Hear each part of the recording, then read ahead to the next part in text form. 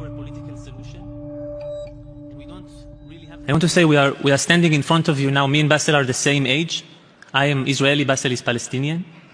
And in two days, we will go back to a land where we are not equal. I am living under a civilian law, and Basel is under military law.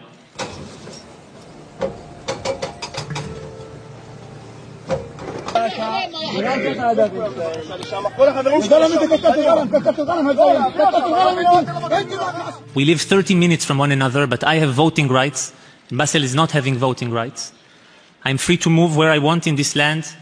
Basel is, like millions of Palestinians, locked in the occupied West Bank. This situation of apartheid between us, this inequality, it has to end.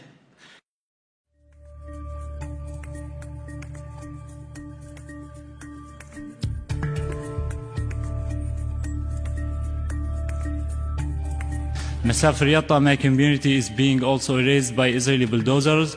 I ask one thing for Germany, as I am in Berlin here, to respect the UN calls and stop sending weapons to Israel.